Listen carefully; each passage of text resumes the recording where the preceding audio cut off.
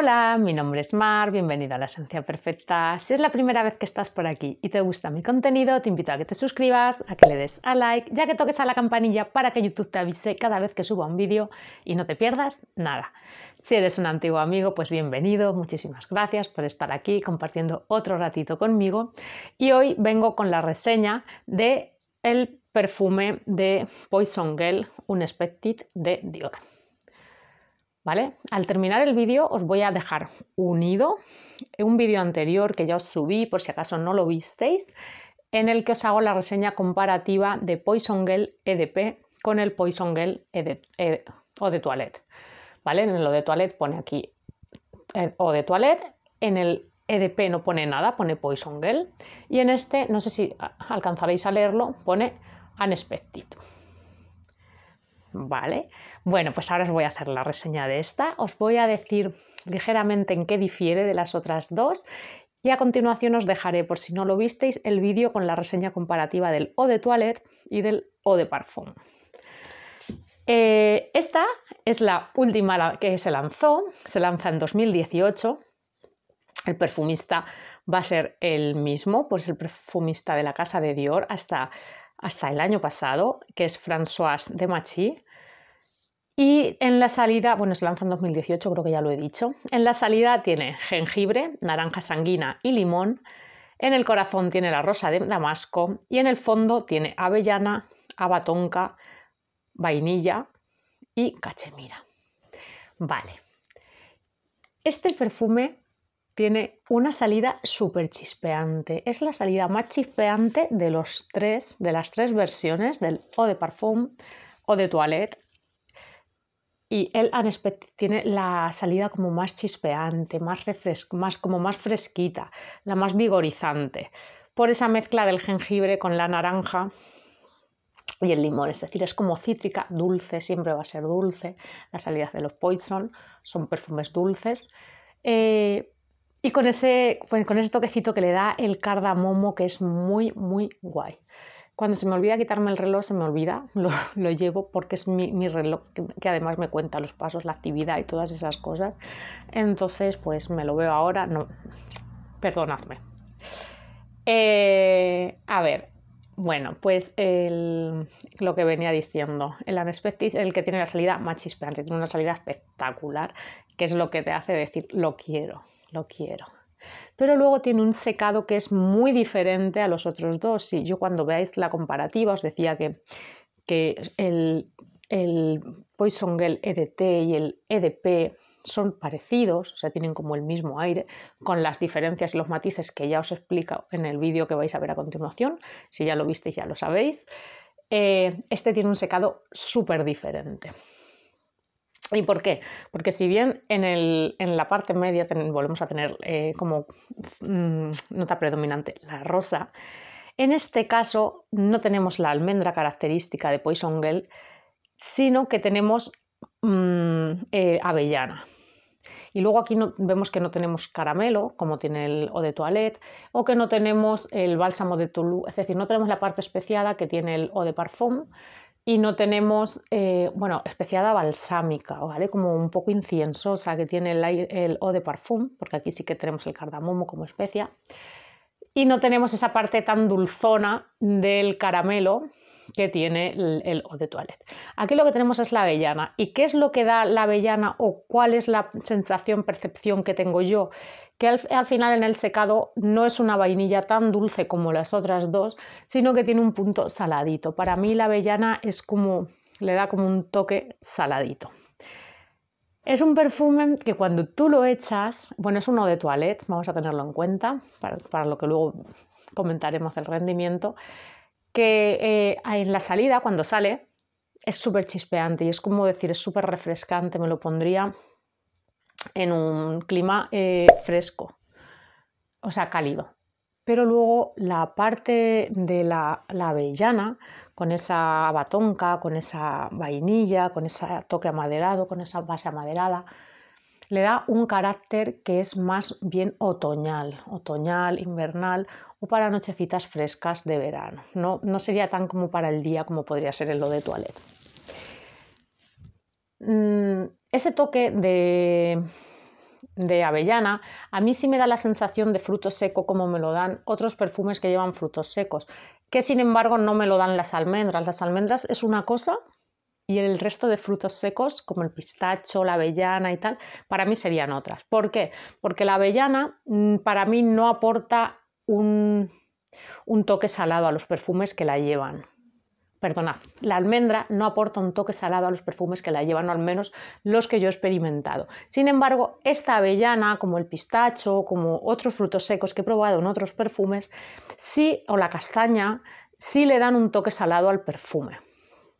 Y en este caso lo tenemos. No es un toque salado como podemos encontrar en los Olimpeas y cosas así tan, tan, tan evidentes, o como podemos encontrar en el Kenzo World Power, o no, no son esas cosas, pero sí que tiene un toque saladito, es como comestible, pero más saladito, cuando los otros dos Poison Girl son dulces. Es por eso que es el más diferente de los tres y tiene ese carácter especial. Eh, en cuanto a ocasión de uso, a mí me hace recordar un poquito al uso que yo le daría al, al Soleil Blanc de Tom Ford. Es un perfume que parece que por las notas o porque es, la botella es blanca eh, y las notas que tiene está ideado para verano, pero es un perfume que yo disfruto más en clima más frío, en otoño.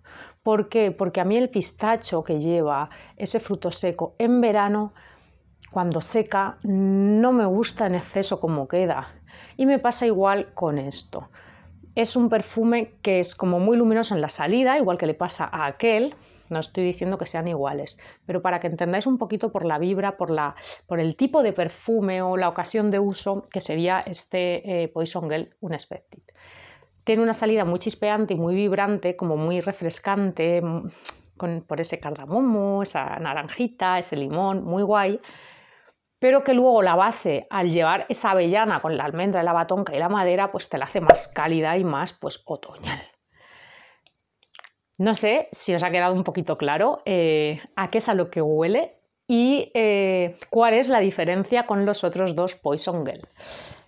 Ya os digo, eh, la, o sea, la reseña de Poison Girl EDT y Poison Girl eh, e tenéis un vídeo aparte simplemente de él, pero eh, os lo voy a intentar dejar unido una vez termine este vídeo. A continuación vais a ver esa reseña comparativa por si os la perdisteis. Respecto a la duración, es un perfume que a mí tiene el mismo rendimiento en cuanto a duración en piel que los otros dos que yo os hablaba de unas cuatro horitas. Es, vale, es, son Dior, mm, cuatro horas relación calidad, o sea, duración, precio, pero los aromas, es, es decir, esto te va a merecer la pena si a ti el aroma te enamora. ¿Por qué? Porque son perfumes que vas a tener que reaplicar y no te van a cundir como un perfume que no tienes que retocar. Y el precio no es precisamente económico porque son Dior. Y aunque sean eau de toilette, el precio es el mismo que el eau de parfum que los eau de parfum. Entonces, pues esa es la valoración que tienes que hacer. Duración en mi piel aproximadamente 4 horas. las prendas sí que va a permanecer al día siguiente, lo vas a seguir sintiendo suavito. Es un perfume de proyección moderada y estela moderada al inicio y suave eh, a partir de las dos horas eh, va a ser como muy a ras de piel. Es decir, eh, no tiene la estela que tiene el eau de parfum, de inicio, ni, bueno, lo de toilette sí parecido, y luego la duración en piel es esa, es que no fijan más en piel, te lo tienes que buscar, si te lo buscas algo queda, queda por ahí algo, pero ya digo, yo, yo me lo reaplico a, esas cuatro horas. Pero bueno, pues eh, los aromas pues están muy bien hechos, están muy bien trabajados y son muy bonitos. Y si te gusta, en este caso, una vainilla con un toque chispeante en la salida, muy, muy mm, como aromático, refrescante, pero con, luego con la calidez y el abrigo de una avellana un poquito saladita, pues este perfume te, puede gustar. Eh, ya os digo, si te gustan los perfumes tipo por ese fruto, por ese fruto seco que lleva. El Soleil Blanc de Tom Ford o incluso el, a ver si me acuerdo, el Orchid Soleil, que también lleva, en ese caso creo que sí que llevaba la castaña o castaña o, era también eh, esta avellana que lleva, era otro, otro fruto seco también que le da ese, ese toque saladito. Bueno, pues perfumes así que van en esa vibra, que son como entre veraniego otoñal, por esa densidad. Este Poison Girl Unexpected os puede gustar eh, mucho. Yo no sé, recomiendo que lo probéis. Yo ya os digo, como ha cambiado el perfumista de Dior, yo tengo miedo de que, de que estos perfumes los vayan a retirar, los vayan a retocar, mm, los vayan a hacer de otra manera. Es una línea que a mí me gusta muchísimo. Sabéis que tengo mi consentido, que es el Eau de Parfum. Eh, el Eau de Toilette fue una gratísima sorpresa eh, incorporarlo y me quedaba este por tener eh, y por lo diferente que era, porque lo empecé a probar y dije, ay, me encanta cómo sale, me encanta cómo... Es, da un giro, es diferente. Es verdad que yo soy más de vainilla dulce que del toque salado. No me suelen gustar los perfumes salados, pero este no llega a ser salado salado, sino pues un, ligero toque, que, sí que me lo hace agradable y fácil de llevar. Así que bueno, pues esto es lo que os puedo decir de este Poison Girl Unexpected. Eh, os voy a dejar a continuación el vídeo en el que os hago la comparativa de Poison Girl EDP con EDT. Os voy a volver a, invitar a que os suscribáis al canal si todavía no lo habéis hecho, a que toquéis a la campanita, que le deis a like, a que me dejéis abajo algún comentario, aunque sea un corazoncito, porque sabéis que con eso me ayudáis un montón.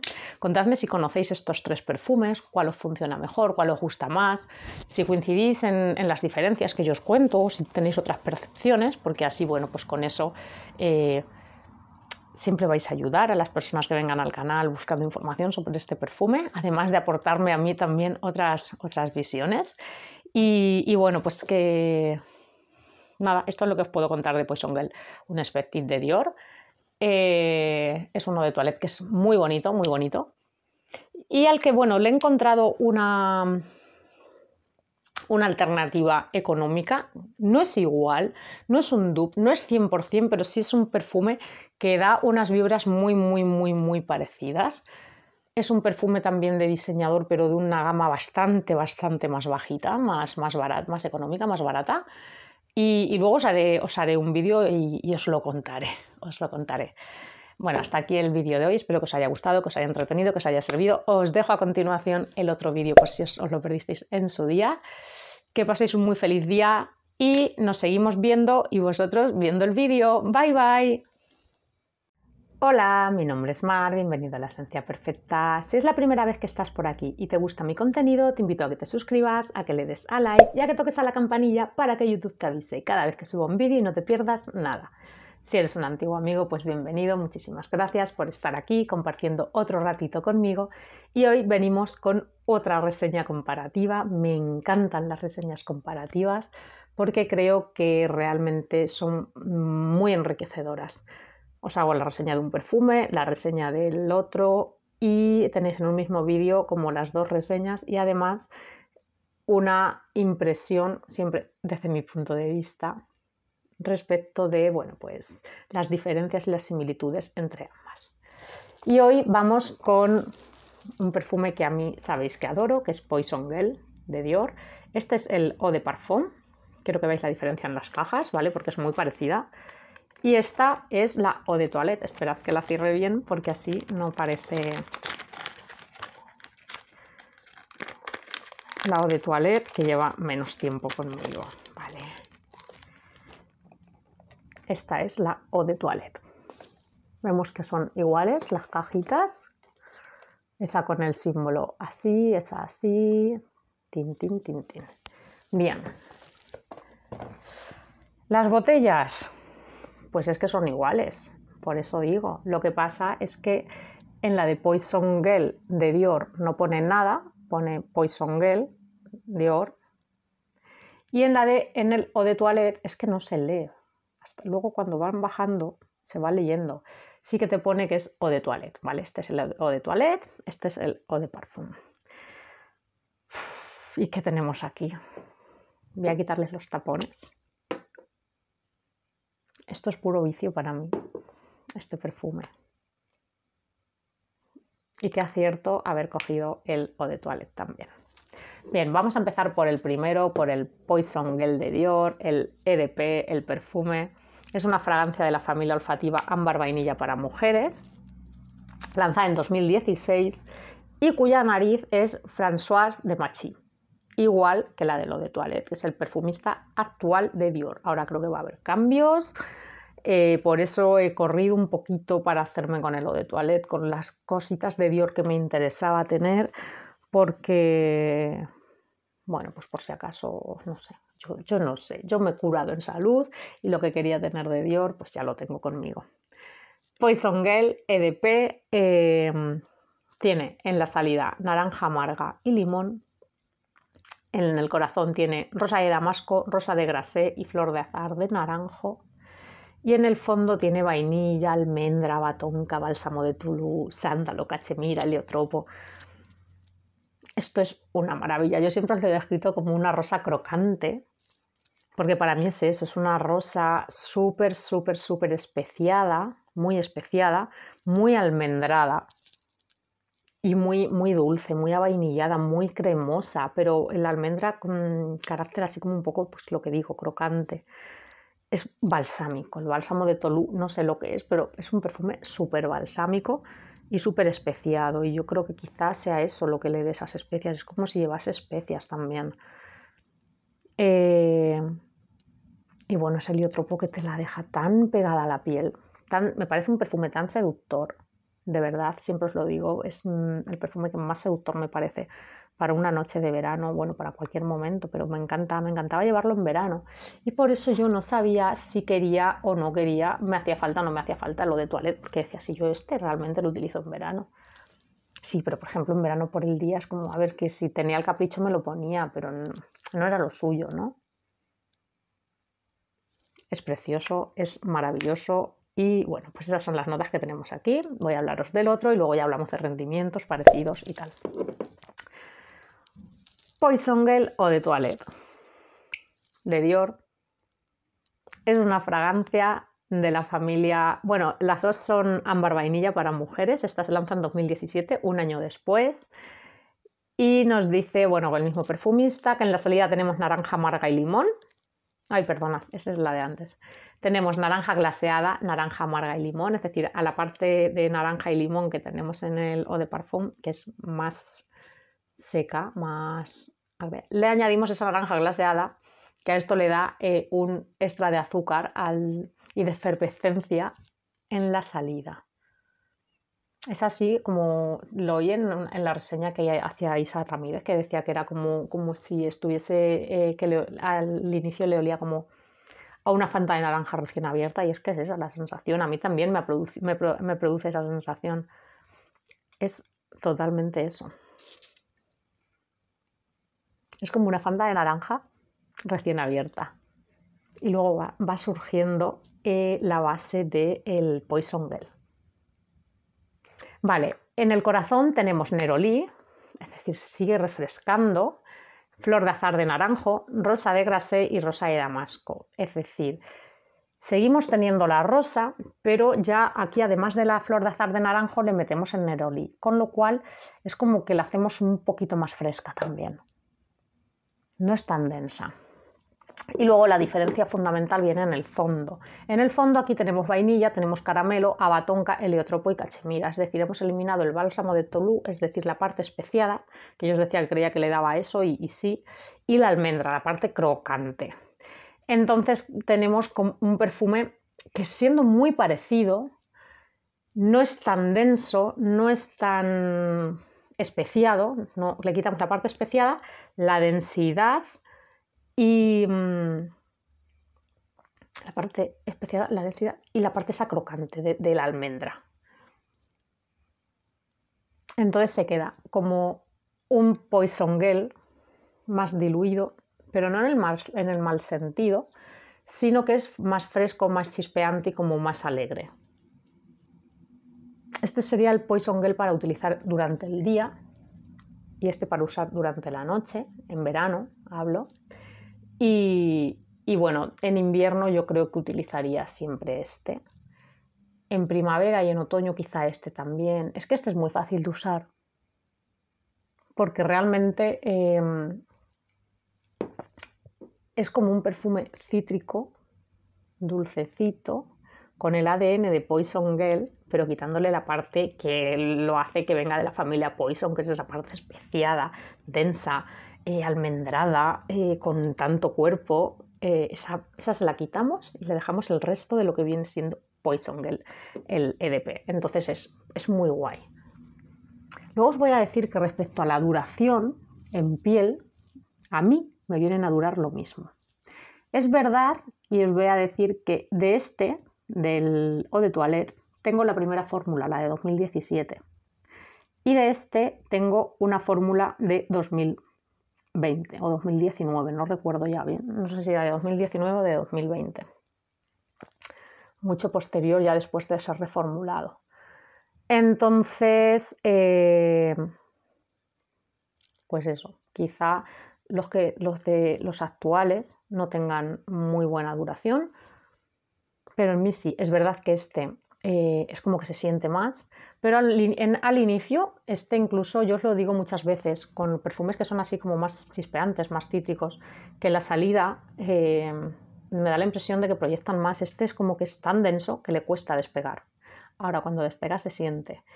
Y este es como que desde el inicio despega muy rápido. Entonces al inicio cuando tú te los aplicas es como que este lo sientes más.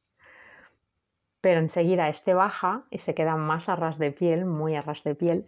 Y este se queda sin ser una bomba en proyección, porque para mí Poison Girl de Dior no es una bomba en proyección, por eso siempre digo que me, gusta mucho para, distancias cortas es un perfume que se siente muy bien, que sí que, se siente, que proyecta, pero en un círculo muy, en un eh, entorno muy cercano, en un radio muy cercano, ¿vale? Entonces, bueno, pues esa sería básicamente la diferencia entre estos dos es la densidad. Este es mucho más denso. Si te gusta este, eh, pero quieres algo más ligero, más ligerito, eh, y quitándole la parte especiada y así densa, densa y crocante de la almendra, eh, este te va a gustar. De hecho, si te gusta este, este te va a gustar seguro. Y luego, si este no te gusta precisamente por la parte especiada que tiene, pero tiene algo, ese rollo de Poison Girl que te gusta, pero te gustaría quitarle esa parte especiada o esa parte tan almendrada, pues prueba este porque, porque te va a gustar. Te va a gustar eh, porque es que es, muy parecido a mí. Me ha encantado, es que tiene una chispilla muy guay. Me ha gustado mucho, es que me parece tan, tan fácil de llevar, tan, tan bonito. Y este es que es magia. Este. A ver, Poison Girl, el EDP es mi consentido, ¿no?